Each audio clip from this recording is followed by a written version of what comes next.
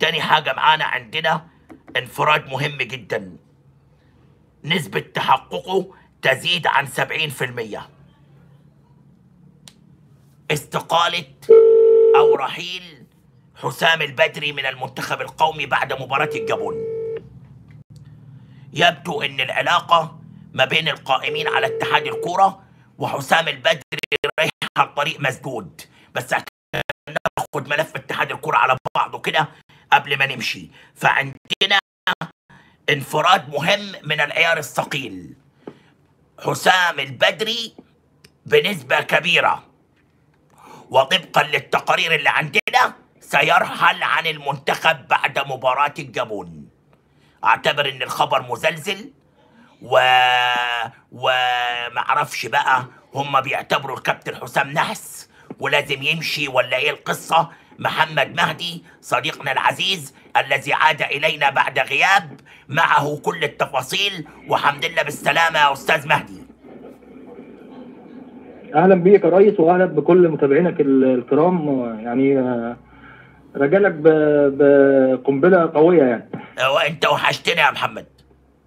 الله يخليك يا ريس أنت أكتر و وعاشني كل متابعينك الكرام والأصدقاء الأعزاء اللي بيتابعونا يعني. اتفضل يا حمادة. آه، طيب آه، يعني ما وصلنا من معلومات إنه آه، أيام حسام البدري آه، كمدير فني منتخب مصر الأول آه، خلاص اوشكت على ال- النفاذ آه، حسام البدري سيرحل عن آه، قيادة منتخب مصر آه، بعد مباراة الجابون 5 9 وده آه، تم الاستقرار عليه وال- والقرار آه، تم يعني اتخاذه من قبل اللجنة الثلاثية برئاسة آه، أحمد مجاهد وكمان الساعات اللي فاتت شهدت مفاوضات مع مدرب أجنبي آه، من آه، آه، أمريكا اللاتينية لخلافة حسام البدري واستكمال التصفيات آه، المؤهلة لكأس العالم 2022 وعرفنا إنه برضه من أسباب إنه آه، رحيل حسام البدري اعتراض آه، آه، عدد من اللاعبين المنتخب على تواجده وعلى رأسهم آه، آه، النجم الدولي محمد صلاح لاعب ليفربول الإنجليزي اللي آه، تأكد النهارده يعني عدم حضوره آه، لمصر آه، للتواجد في مواجهة آه، أنجولا ويبذل يعني اتحاد الكرة محاولات لتواجد محمد صلاح في المباراة الثانية أمام الجابون آه، في الجابون وهناك اتصالات مع نادي ليفربول ومسؤوليه وأيضا آه، اتصالات مع مسؤولي الفيفا للتدخل لحل هذه القصة. ولكن المؤكد هو رحيل حسام البدري بعد مباراة الجابون آه، آه، القادمة يوم 5 9 خلينا ننوه على معلومة مهمة جدا كتبت النهاردة في التقارير ال- الإنجليزية إن سبب استناد ليفربول في موضوع محمد صلاح لأن مصر ضمن الستين اللي في الدايرة الحمراء اللي أي حد يجي منها لابد أن يدخل عزل لمدة عشرة أيام.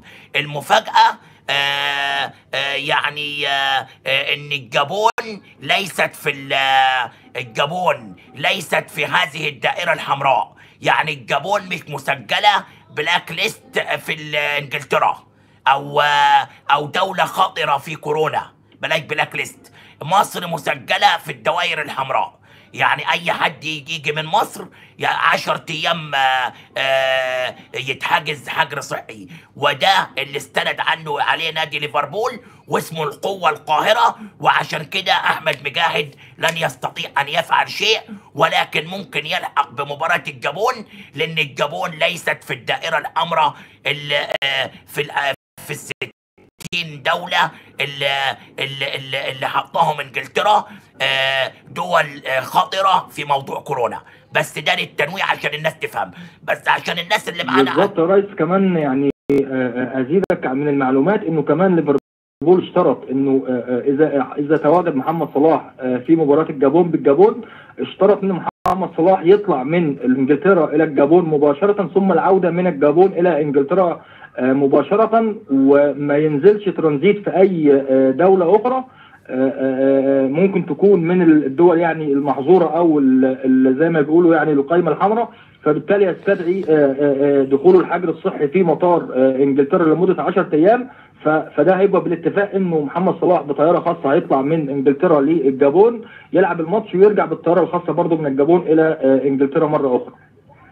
طيب ده ده ملف مهم جدا. يعني اذا بنسبة كبيرة جدا ربما تكون مباراة الجابون آخر مباراة لحسام البدري. آه، يعني أنا معلوماتي إن هي مش بنسبة كبيرة إنه فعلا دي آخر مباراة لحسام البدري ومن ضمن برضو التأكيدات إنه طارق مصطفى المدرب العام أتم اتفاقه مع نادي الشرقيه الشرقيه للدخان بحيث إن هو يبقى موجود في الجهاز الفني مع طارق يحيى.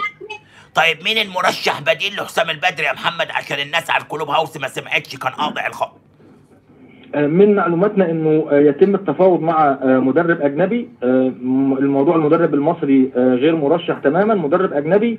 وهناك مفاوضات جارية يعني ولكن إن هم متجهين إلى المدرسة اللاتينية أمريكا اللاتينية هيجيبوا مدرب من هناك. وفي بعض الكلام وصلنا إنه في مفاوضات مرة أخرى مع الأرجنتيني هيكتور كوبر أنه يعود مرة أخرى لتدريب منتخب مصر برفقة محمود فايز.